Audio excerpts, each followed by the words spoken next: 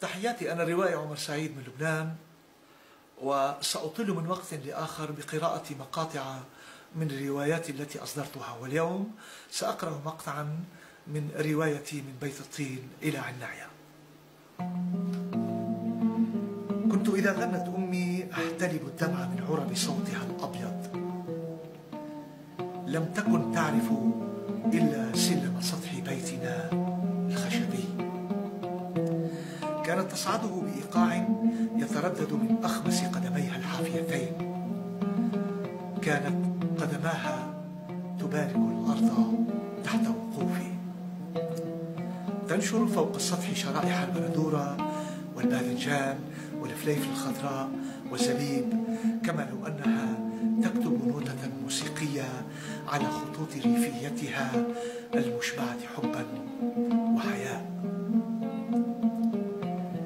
كان سطح بيتنا لوحتها التي ما خضعت للمزاد العلني بتاتا لأنها كانت ترسمها لترى فيها أطفالها الذين تنتظر. كانت دندناتها أول أسرة السلام التي حملتني قبل الولادة وبعدها. لأني كررت عليها السؤال أكثر من مرة وفي أكثر من مناسبة. هل كنت تغنين حين كنت جنينا في رحمك؟ فتقول كنت أشعر طوال فترة حملي بك أن نفسي فاتحة على الغناء ولا أذكر أني غنيت في حمل كما فعلت أثناء حملي بك ثم تغمرني بقوة وتترك دمعها يشعل حبها. لأشعر بانقباض لم أدرك سببه إلا يوم دخلت عليها وهي توضب حقيبة سفري. كنت في الخامسة عشر من عمري وفي طريقي إلى بغداد بهدف الدراسة. لم تكن تغني كانت تئن فقط.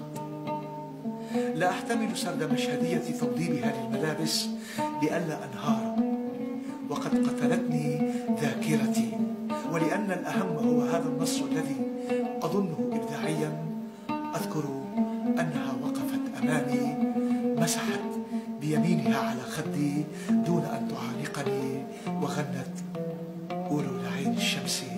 ما تحماشي دحسن حبيب القلب صالح ماشي. ثم اختنقت وغادرت الغرفة. كنت في أماس بغداد البعيدة أخفي رأسي عند النوم بمنشفة عطرتها أمي بصدرها. الذي ظل حليبه على أطراف لساني لأرتشف صوتها ودمعها دون أن يشفق علي أحد. عندما ماتت أمي عدت من السفر قبل دفنها بساعات.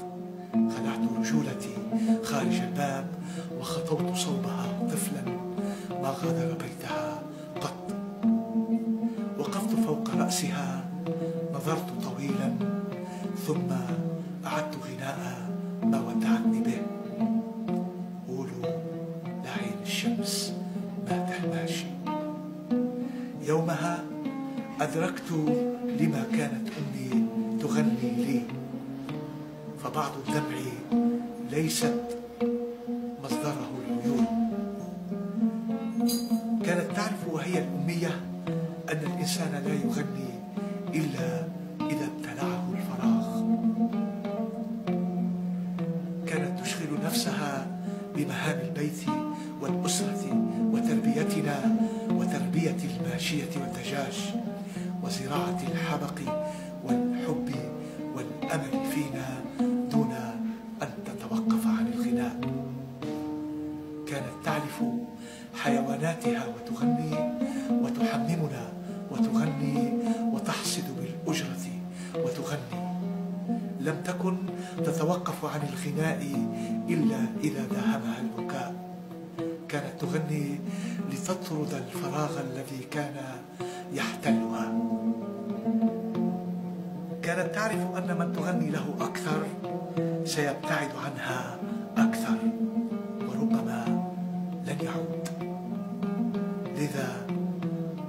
في روايتي الثالثة سوق الملح.